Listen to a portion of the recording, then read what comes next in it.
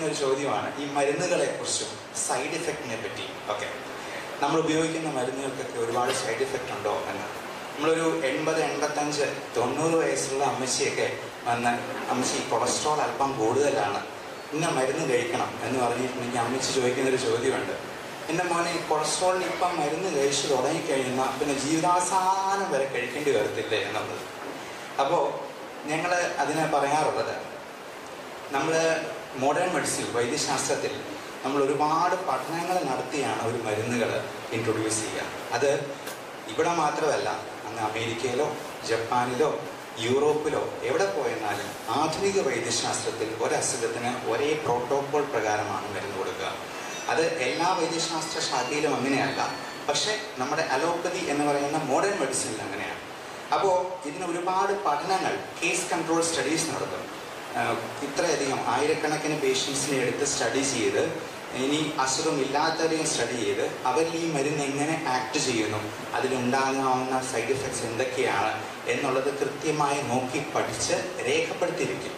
അതിനുശേഷം മാത്രമേ ഒരു മരുന്ന് വിപണിയിൽ ഇറക്കാനും അത് ഉപയോഗിക്കാനായിട്ടും ഉള്ള അംഗീകാരം അതിന് കിട്ടുകയുള്ളൂ. അപ്പോൾ ഈ സൈഡ് ഇഫക്റ്റ് എന്ന് പറയുന്നത് മനുഷ്യന് മനുഷ്യനെ പേടിപ്പിക്കുന്ന ഒരു സംഗതിയായിട്ട് നിൽക്കുമ്പോൾ നമ്മൾ പറയാറുണ്ട് anything which has an effect will have side effects അതായത് എഫക്റ്റ് ഉള്ള എന്തിനും സൈഡ് എഫക്റ്റും ഉണ്ടാവും. ഉദാഹരണത്തിന് പച്ചവെള്ളം. നമ്മൾ പച്ചവെള്ളം കുടിച്ചു കഴിഞ്ഞാൽ എന്തെങ്കിലും പ്രശ്നമുണ്ടെന്ന് നമുക്ക് ആർക്കെങ്കിലും അറിയാവോ? പക്ഷേ ഇന്ന് മനസ്സിലാക്കുക പച്ചവെള്ളത്തിനാണെങ്കിലും കൃത്യമായ ഒരു ഡോസേജ് ഉണ്ട്. ഇപ്പോൾ ഹാർട്ടിന് എന്തെങ്കിലും പ്രശ്നമുള്ള പമ്പിങ് കുറവുള്ളവർക്ക് അല്ലെങ്കിൽ കിഡ്നിക്ക് എന്തെങ്കിലും പ്രശ്നമുള്ളവർക്ക് ലിവറിന് പ്രശ്നമുള്ളവർക്ക് ഒരു പരിധിയിൽ കൂടുതൽ വെള്ളം ഒരുമിച്ച് കുടിച്ചെന്നാൽ ആൾ മരിച്ചു പോകും. അത് മരണകാരണമായേക്കാം. അപ്പോൾ പച്ചവെള്ളത്തിന് പോലും കൃത്യമായൊരു ഡോസേജ് ഉണ്ട് കൃത്യമായ ഒരു ഫോം ഉണ്ട്. അതും ഒരു പരിധിയിൽ കൂടുതൽ ഉപയോഗിച്ചെന്നാൽ സൈഡ് ഇഫക്റ്റ് ഉണ്ട്. നമ്മൾ വിചാരിക്കും പ്രകൃതിയിൽ നിന്ന് കിട്ടുന്നതിനൊന്നും ഒരു സൈഡ് എഫക്റ്റും ഇല്ല. പക്ഷെ ഞാൻ ചോദിക്കുന്ന ഒരു ചോദ്യമുണ്ട്. കഞ്ചാവ് പ്രകൃതിയിൽ നിന്ന് നേരിട്ട് കിട്ടുന്നതാണ്. പുകയില പ്രകൃതിയിൽ നിന്ന് നേരിട്ട് കിട്ടുന്നതാണ്. നമ്മുടെ മദ്യമാണെങ്കിൽ പോലും പഴങ്ങളിൽ നിന്നുമൊക്കെ ഉണ്ടാക്കുന്നതാണ്. അപ്പോൾ അതിന് പോലും സൈഡ് എഫക്റ്റ് ഉണ്ട്. അപ്പോൾ പലപ്പോഴും ആൾക്കാർ നമ്മൾ ആഴ്ചകളോളം പഴകിയ എണ്ണയിൽ വറുത്തെടുത്തിരിക്കുന്ന സാധനങ്ങളും കഴിച്ച് ഫോർമാലിൻ ഉള്ള പാലും കുടിച്ച് ഫോർമാലിൻ മുക്കിയ മത്സ്യവും കഴിച്ച് ഹോർമോൺ കുത്തിയ കോഴിയും തിന്ന് അതൊക്കെ പോട്ടെ ദിവസം നാലും അഞ്ചും പാക്കറ്റ് സിഗരറ്റും വലിച്ച് ഒരു ക്വാർട്ടറും അല്ലെങ്കിൽ ഒരു ഫുള്ളും ഒക്കെ അടിച്ച് ചിലപ്പോൾ കഞ്ചാവും വലിച്ച് എല്ലാം കഴിഞ്ഞ് എന്തെങ്കിലും അസുഖം ബാധിച്ച് വരുമ്പോൾ ഇന്ന മരുന്ന് കഴിച്ചിട്ട് ഈ മരുന്ന് സൈഡ് എഫക്റ്റ് ഉണ്ടോ എന്ന് ചോദിക്കുന്നതിൽ എന്ത് അർത്ഥശൂന്യതയാണ്? അപ്പോൾ നമ്മൾ മരുന്നുകളെയല്ല ഭയപ്പെടേണ്ടത് നമ്മുടെ ഈ അസുഖങ്ങളെയാണ് എന്നുള്ള കാര്യം പ്രത്യേകമായിട്ടും ഓർക്കുക. പ്രത്യേകിച്ചും ഈ അസുഖങ്ങൾ ഒരു പരിധിയിൽ കൂടുതലായി കഴിഞ്ഞാൽ നമുക്ക് നമ്മുടെ ആരോഗ്യം നഷ്ടപ്പെട്ടു കഴിഞ്ഞാൽ ഒരിക്കലും അത് തിരിച്ചു എടുക്കാൻ പറ്റാതെ വന്നേക്കും. പ്രത്യേകിച്ച് ഈ കൊളസ്ട്രോളിന്റെ മരുന്നുകളും ബി പിയുടെ മരുന്നുകളും ഒക്കെ സൈഡ് എഫക്റ്റ് ഉണ്ടാക്കുമോ ഇത് കഴിച്ചു തുടങ്ങിയാൽ പ്രശ്നമാകുമോ എന്ന് ചോദിക്കുന്നവരോട് നമ്മൾ പ്രത്യേകം പറയുന്ന ഇതാണ്. ഈ അസുഖമാണ് നിങ്ങൾക്ക് കൂടുതൽ പ്രശ്നം ഉണ്ടാക്കുക. ഉദാഹരണത്തിന് നമ്മൾ ഡയബറ്റീസിന് കൊടുക്കുന്ന മരുന്നുകൾ അത് കിഡ്നി ഫെയിലർ ഉണ്ടാക്കുമോ എന്ന് ഒത്തിരി പേര് ചോദിക്കാറുണ്ട്. അല്ലെങ്കിൽ കൊളസ്ട്രോളിനുള്ള അട്രോസ്റ്റാറ്റിൻ അത് ഷുഗർ ഉണ്ടാക്കുമോ എന്ന് ചോദിക്കാറുണ്ട്.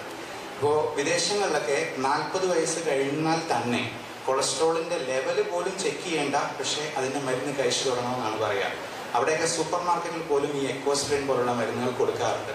കാരണം അവരത് പഠന വിഷയമാക്കി അതിനെക്കുറിച്ച് കൃത്യമായി പഠിച്ച് രേഖപ്പെടുത്തിയിട്ടുള്ളത്. അത് അമേരിക്കയിലുള്ളതാണ്. അപ്പോൾ അവരൊക്കെ അത് കൃത്യമായിട്ട് കഴിക്കുകയും ചെയ്യുന്നുണ്ട്. ഇന്ന് ഒരുപാട് പേരിൽ കാണുന്ന ഒരു സംഗതിയാണ് ഫാറ്റി ലിവർ അപ്പോൾ ഒമേഗ ത്രീ ഫാറ്റി ആസിഡ് മീനെണ്ണ അവിടെ സൂപ്പർ മാർക്കറ്റിലൊക്കെ യഥേഷ്ടം കിട്ടുന്നതാണ്. നമ്മുടെ നാടുകളിലൊക്കെ അത് കൂടുതൽ പ്രിവലന്റ് ആയിട്ട് വരുന്നതേ ഉള്ളൂ. നമ്മുടെ ആൾക്കാർക്ക് അതിനെക്കുറിച്ചിട്ടുള്ള നോളജ് കുറവാണ്. അത് പതുക്കെ അറിഞ്ഞു വരുന്നതേ ഉള്ളൂ. അപ്പോൾ ഇതൊക്കെ മരുന്നുകൾ എന്ന് കാണുന്നതിന് പകരം നമ്മുടെ ആരോഗ്യ സംരക്ഷണത്തിലുള്ള ഉപാധികളായിട്ട് അതിനെ കാണുക. പിന്നെ ഇത് ഇത് വെച്ചിട്ട് കമ്പനിക്കാരത്തിൽ പൈസ ഉണ്ടാക്കുന്നുണ്ടോ എന്നൊക്കെയാണ്. ശരിക്കും രണ്ട് രൂപയുടെ അട്രോസ്റ്റാറ്റിന് മരുന്നുകൊണ്ട് ഇതുപോലുള്ള മൾട്ടിനാഷണൽ കമ്പനിക്ക് എന്ത് ലാഭം ഉണ്ടാകാനാണ്? അപ്പോൾ ആ ഒരു ചിന്ത തന്നെ തീർച്ചും അർത്ഥശൂന്യമാണെന്നുള്ളതാണ് എന്റെ വ്യക്തിപരമായിട്ടുള്ള അഭിപ്രായം. നമ്മുടെ നമ്മുടെ ഭക്ഷണത്തിലെ മായം നമ്മുടെ ശ്വസിക്കുന്ന വായുവിലെ പൊല്യൂഷൻ ഇതൊക്കെയാണ് നമ്മുടെ ആരോഗ്യത്തിന് കൂടുതൽ ദൂഷ്യമുണ്ടാക്കുന്നത് എന്നുള്ള തിരിച്ചറിവ് നമുക്കുണ്ടാവുക. നമ്മുടെ നല്ല ശീലങ്ങളെ തിരിച്ചു പിടിക്കാനായിട്ട് നമുക്ക് ശ്രദ്ധിക്കാം. പ്രത്യേകിച്ചും ഇപ്പോൾ പോഷക കൂടുതൽ കൊണ്ട് അസുഖങ്ങൾ വരുന്ന ഒരു കാലഘട്ടത്തിലാണ് നമ്മൾ ജീവിക്കുന്നത്. കൃത്യമായ വ്യായാമ മുറകളിലൂടെ കൃത്യമായ ഭക്ഷണ രീതികളിലൂടെ നമ്മുടെ ആരോഗ്യം സംരക്ഷിക്കാനായിട്ട് പ്രത്യേകം ശ്രദ്ധിക്കുക. അസുഖം വരാതിരിക്കാനും കൂടി ചിലപ്പോൾ മരുന്ന് കഴിക്കേണ്ടതായിട്ട് വരും. ഞാൻ പറഞ്ഞതുപോലെ ഡയബറ്റീസിന് നമ്മൾ കൊടുക്കുന്ന മരുന്ന് കിഡ്നിക്ക് പ്രശ്നം ഉണ്ടാക്കുമോ എന്നുള്ളൊരു ചോദ്യം. മിക്കവാറും ആളുകളിൽ ഡയബറ്റീസ് ഉണ്ടാകുന്ന പേഷ്യൻസിന് നമ്മൾ മരുന്ന് കഴിച്ചു തുടങ്ങുമ്പോൾ തന്നെ അവർക്ക് ഒരുപാട് കോംപ്ലിക്കേഷൻസിലേക്ക് എത്തിപ്പെട്ടിട്ടുണ്ടാവും. അതിലൊന്നാണ് ഡയബറ്റിക് നെഫ്രോപ്പതി എന്ന് പറയുന്ന കിഡ്നിയെ ബാധിക്കുന്ന പ്രശ്നം. അത് മൈക്രോവാസ്കുലർ കോംപ്ലിക്കേഷൻ പെടുന്ന ഒരു സംഗതിയാണ്. അപ്പോൾ അങ്ങനെയുള്ളവർ മരുന്ന് കഴിച്ചു തുടങ്ങിയെന്നാലും ചിലപ്പോൾ അഞ്ചോ ആറോ വർഷം കഴിയുമ്പോഴത്തേക്കും കിഡ്നിക്ക് പ്രശ്നം യൂറിയ ക്രിയാറ്റിന് കൂടുമ്പോഴത്തേക്കും ആ ഇത് മരുന്ന് കഴിച്ചിട്ടാണെന്ന് ചിന്തിക്കും. പക്ഷെ അങ്ങനെയല്ല ഈ ഡയബറ്റിസ് എന്ന് പറയുന്ന അസുഖത്തിന്റെ കോംപ്ലിക്കേഷൻ ആയിട്ട് ഓൾറെഡി അവർക്ക് അതിന്റെ ആ ഒരു ചേഞ്ചസ് വന്ന് തുടങ്ങിയിട്ടുണ്ടാകാം.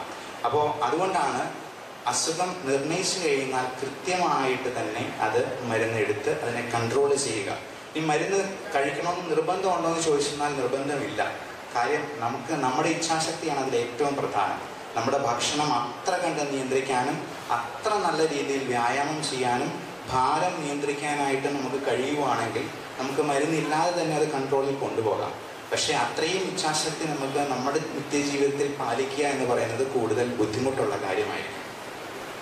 അപ്പോൾ ഞാൻ പറഞ്ഞതുപോലെ പച്ചവെള്ളം പോലും സൈഡ് എഫക്റ്റ് ഉണ്ടാകുന്ന ഒരു സംഗതിയാണ്.